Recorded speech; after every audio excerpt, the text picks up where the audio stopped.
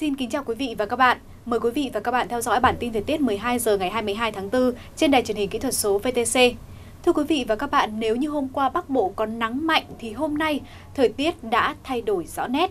Sáng nay bộ phận không khí lạnh đã ảnh hưởng đến một số nơi thuộc vùng núi phía Bắc và khu Đông Bắc, gây mưa, mưa vừa, có nơi mưa to.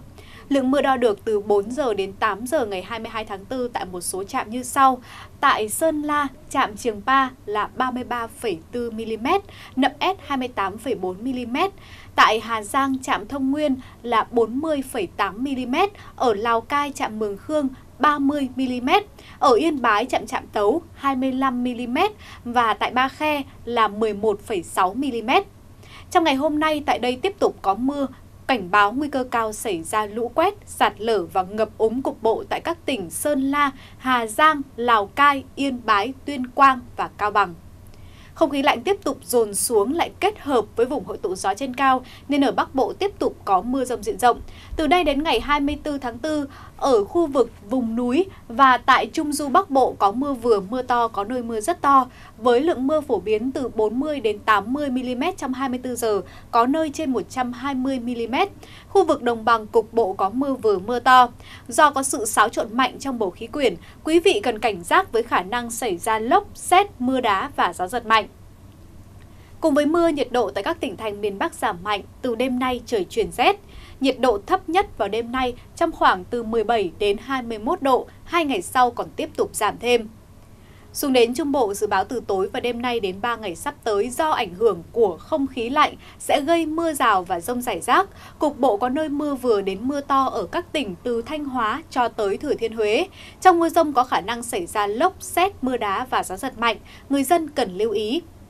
Ở phía Nam đèo Hải Vân trong hôm nay và ngày mai thời tiết ổn định, sau đó khoảng ngày 24 và 25 do ảnh hưởng của không khí lạnh khuếch tán xuống kết hợp với nhiễu động yếu của gió đông trên cao, khu vực có thể gia tăng mưa ở mức độ giải rác vào chiều tối và đêm, còn ban ngày thì trời vẫn có nắng.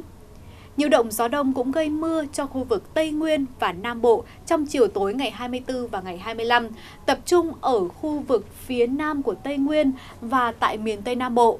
Người dân cần cảnh giác với những hiện tượng thời tiết nguy hiểm như là lốc, xét hay là gió giật mạnh trong cơn rông. Và tiếp theo sẽ là phần dự báo chi tiết trong 3 ngày tới cho các khu vực trên cả nước. Khu vực phía Tây Bắc Bộ từ ngày 23 đến ngày 25 nhiều mây, có mưa rào và rông rải rác.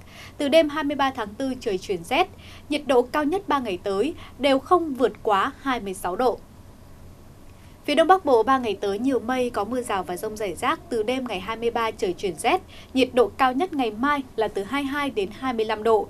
Hai ngày sau đó giảm xuống mức từ 20 đến 23 độ.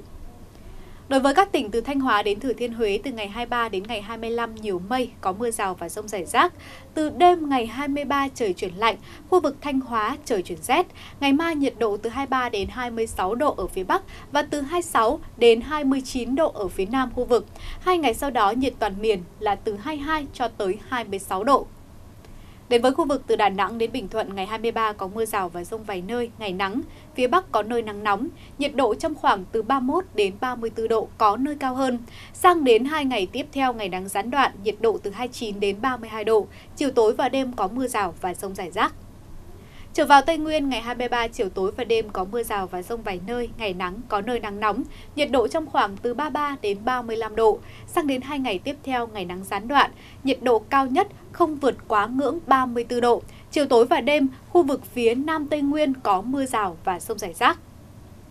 Khu vực Nam Bộ ngày 23 chiều tối và đêm có mưa rào và rông vài nơi, ngày nắng, khu vực miền Đông có nắng nóng, nhiệt độ trong khoảng từ 33 cho tới 36 độ. Sang đến ngày 24 và ngày 25 ngày nắng gián đoạn, nhiệt giảm xuống mức từ 31 đến 34 độ. Chiều tối và đêm có mưa rào và rông rải rác tập trung nhiều ở khu vực miền Tây Nam Bộ. Quay trở ra với thủ đô Hà Nội 3 ngày tới nhiều mây, có mưa rào và rông rải rác. Từ đêm 23 tháng 4 trời chuyển rét, nhiệt độ cao nhất ngày mai là từ 23 đến 25 độ. Hai ngày sau đó giảm xuống mức từ 21 đến 23 độ. Trên biển, khu vực vùng biển phía Bắc của Biển Đông bao gồm vùng biển huyện đảo Hoàng Sa, gió chuyển hướng Đông Bắc mạnh cấp 5. Từ đêm 23 tháng 4, gió Đông Bắc mạnh lên cấp 6, có lúc cấp 7, giật cấp 8, biển động mạnh, tàu thuyền cần lưu ý. Còn với khu vực giữa và Nam Biển Đông, trong đó có huyện đảo Trường Sa, vẫn phổ biến là ít mưa, gió ở mức cấp 4 và biển êm. Bản tin thời tiết trưa nay cũng xin được khép lại tại đây. Cảm ơn quý vị và các bạn đã quan tâm theo dõi. Xin kính chào tạm biệt và hẹn gặp lại.